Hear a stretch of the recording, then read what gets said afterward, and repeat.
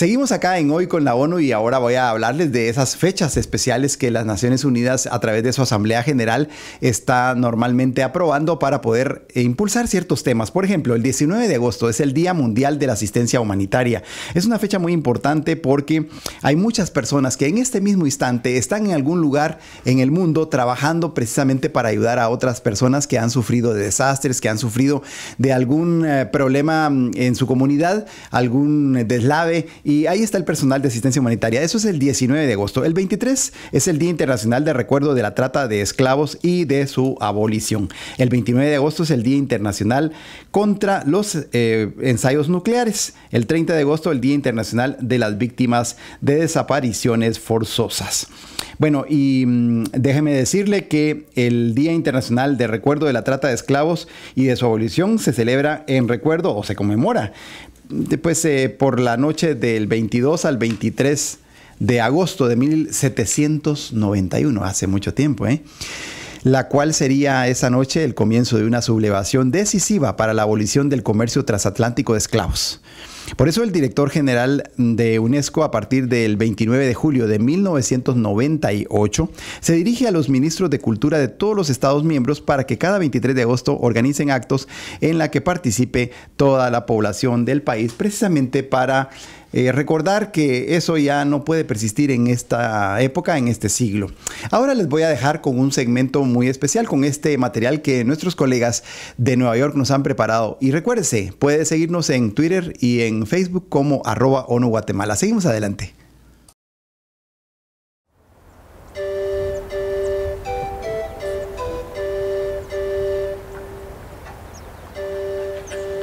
Hoy ya nos podemos reír de esas cosas, porque ya lo hemos podido cambiar, pero tienen que saber ustedes que son jóvenes que alguna vez y por muchas generaciones las mujeres no teníamos los mismos derechos sobre la tierra que los hombres. Pero ¿cómo puede ser eso? Sí, mi niña, era algo normal a principios de este siglo. Todas las mujeres pasábamos por eso.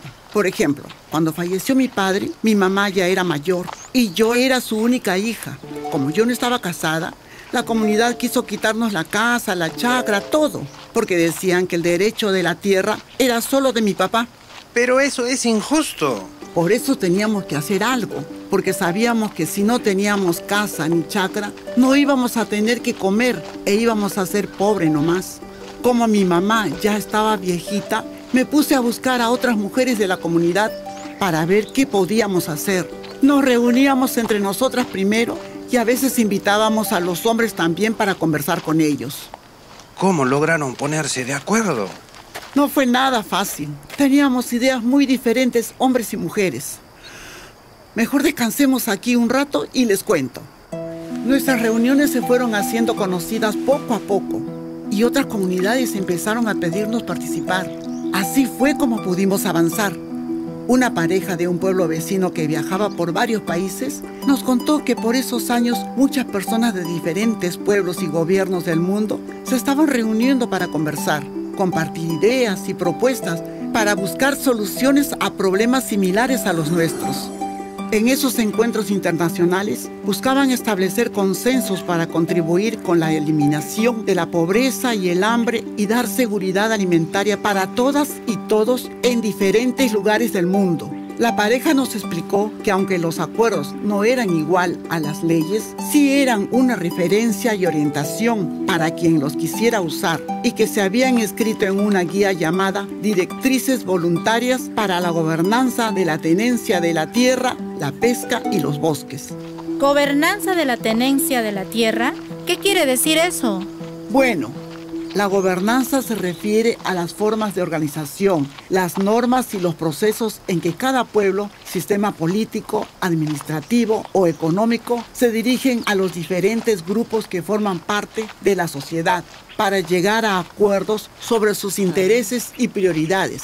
La gobernanza de la tenencia es la forma en que gestionamos el acceso y el control de los recursos naturales entonces la guía puede servirnos para solucionar también los problemas que tenemos ahora. Claro, las herramientas que están en esa guía nos pueden seguir ayudando a encontrar soluciones a nuestros problemas actuales. Abuela, pero no nos has contado cómo hicieron para que la voz de las mujeres se escuche. Bueno, fuimos aprendiendo diferentes cosas a lo largo de las reuniones, como que nuestros reclamos estaban avalados internacionalmente de la Declaración de las Naciones Unidas sobre los Derechos de los Pueblos Indígenas, que dice que los derechos de hombres y mujeres indígenas se aplican por igual, incluyendo el derecho a la tenencia de la tierra.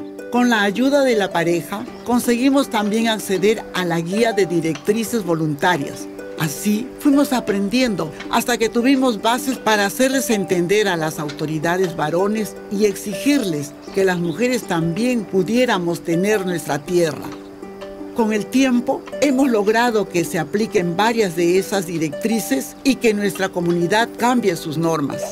Hoy los hombres ya saben que tenemos los mismos derechos que ellos, pero ahora tenemos nuevos problemas por resolver. Bueno, mamita, no quisiéramos, pero ya nos tenemos que ir. Se está haciendo tarde. Gracias por contarnos todo esto. Bueno, chicos, cuídense. Directrices voluntarias para la gobernanza de la tenencia de la tierra, la pesca y los bosques.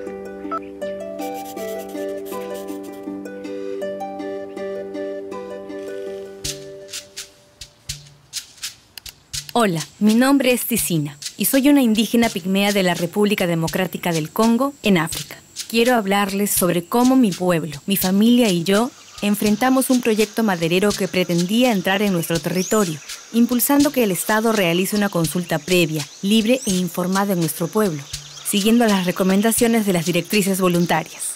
En esta comunidad somos indígenas, como todos los pueblos alrededor nuestro Hemos sido guardianes de la tierra, hemos recolectado y cazado en ella, cuidando y viviendo de sus bosques desde hace miles de años. El Estado no puede decir que esta tierra es de la empresa maderera sin contar con nosotras y nosotros. Nuestros derechos sobre la tierra son comunales, no privados. Tenemos derecho a que se nos consulte. Nos preocupa mucho el futuro de nuestros bosques.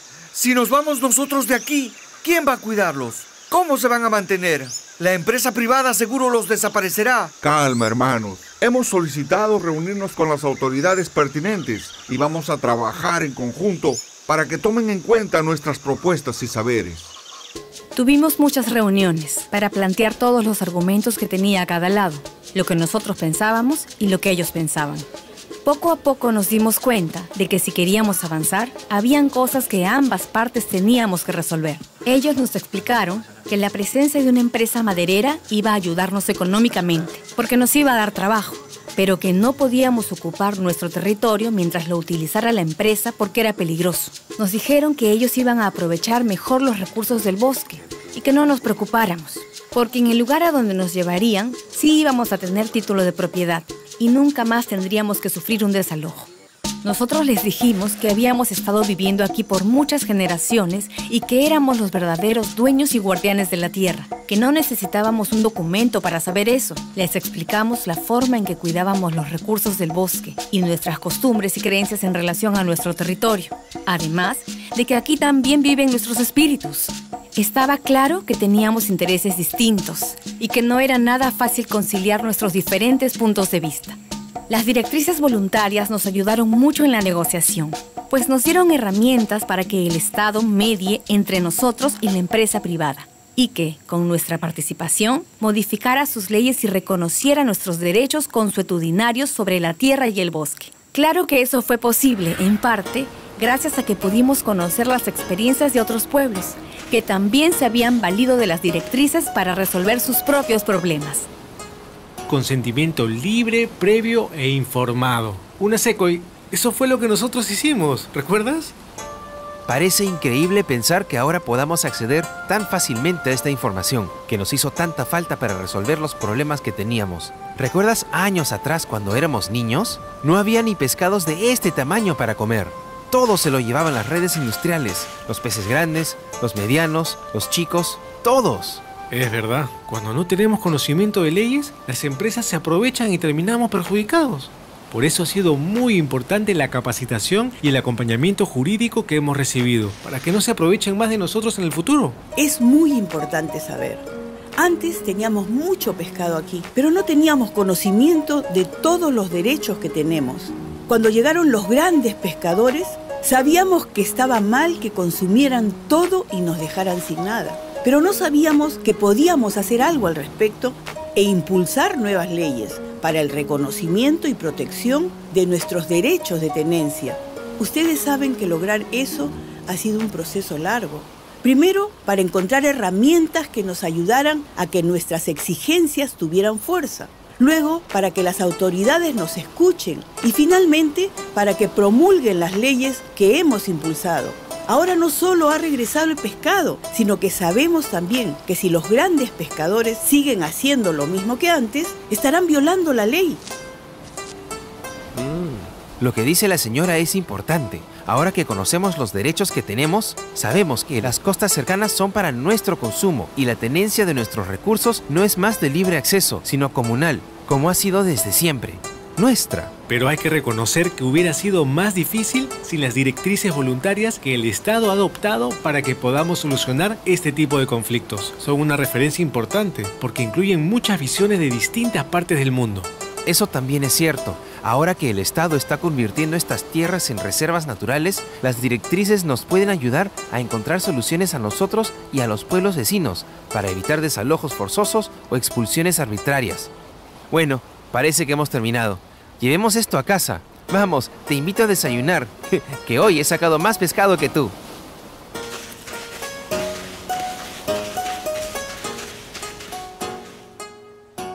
Siendo el mes de enero del año 2030, quiero recordar el artículo 9.7 de las directrices voluntarias para la gobernanza de la tenencia de la tierra, la pesca y los bosques, que dice todos los miembros de las comunidades, incluidas las personas vulnerables y marginadas, deberían poder participar de manera plena y efectiva en la elaboración de las políticas y leyes relacionadas con los sistemas de tenencia de los pueblos indígenas y de otras comunidades con sistemas tradicionales de tenencia. Definitivamente, este tipo de reuniones sirven para fortalecer tanto las capacidades del Estado como las nuestras y mejoran el funcionamiento funcionamiento de ambas organizaciones, pero aún nos faltan algunas herramientas para que podamos resolver los problemas con los demás actores. Porque no estamos solo nosotros y el Estado, están también las autoridades judiciales, el gobierno local, el sector privado. Muchos tienen interés en que se aclare a quién corresponde y en qué proporción el uso de nuestra tierra. Buenas tardes a todas y a todos. Quiero compartirles algunas experiencias que he podido averiguar sobre cómo otros pueblos del mundo que pasaron por problemas parecidos a los nuestros los pudieron resolver implementando las recomendaciones de las directrices voluntarias para la gobernanza de la tenencia de la tierra, la pesca y los bosques. Ya nuestros pueblos nos hemos valido de estas directrices en el pasado para mejorar la participación de la mujer en la tenencia de la tierra y estoy seguro que encontraremos las herramientas que nos faltan para hallar las soluciones que necesitamos hoy.